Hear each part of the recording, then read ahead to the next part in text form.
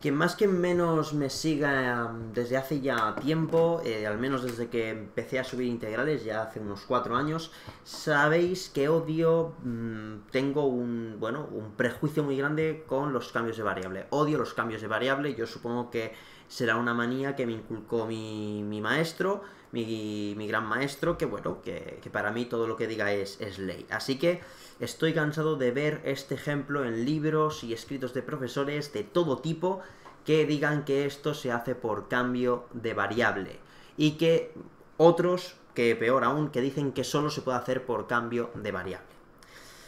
Es lícito hacer cambio de variable y lo respeto, pero no lo comparto. Hacer esta integral es tan simple como aplicar un poquito las matemáticas que hemos mamado desde pequeñitos, es decir, yo a esta x le voy a sumar un 2 y le voy a restar un 2, haciendo que 2 menos 2 sea exactamente igual a 0.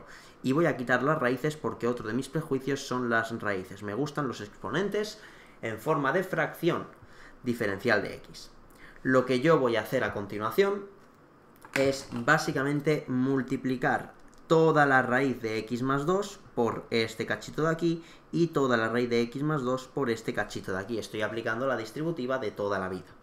Por lo tanto, el resultado me quedará como dos integrales. La primera me quedará de esta manera, x más 2, todo esto será elevado a 1, por x más 2, todo esto será elevado a 1 medio.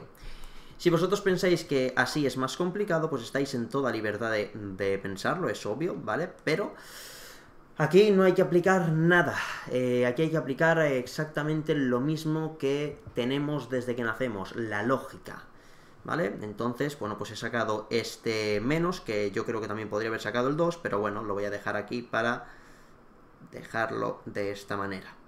Bien, pongo su diferencial de x, y con esto ya prácticamente, bueno, la, la integral está prácticamente acabada.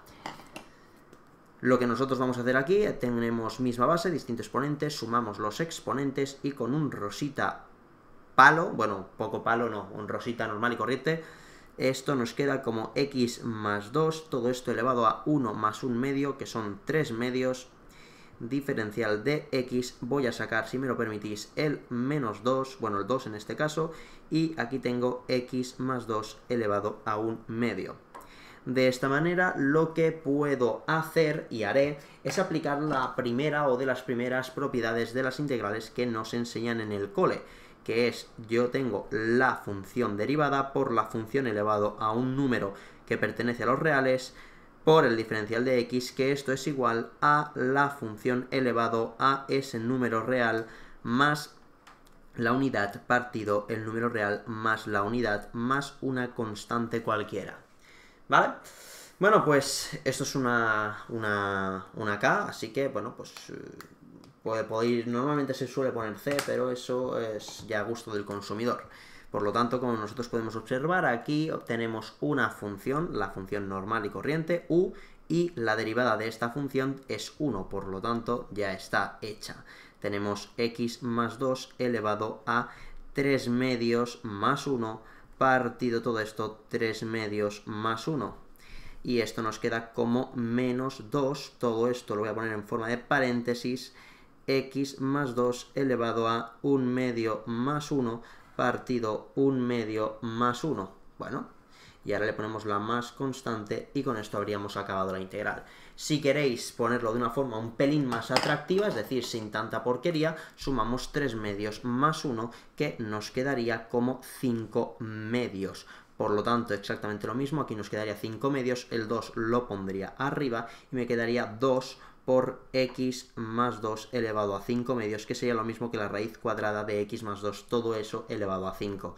Y aquí partido 5 menos, aquí exactamente lo mismo, nos quedaría como 3 medios, el 2 pasaría arriba, por lo tanto esto se convertiría en un 4, así que nos quedaría x más 2 elevado a 3 medios, o lo mismo que la raíz cuadrada de x más 2 y todo elevado a 3, y aquí nos quedaría exactamente 3, ¿vale?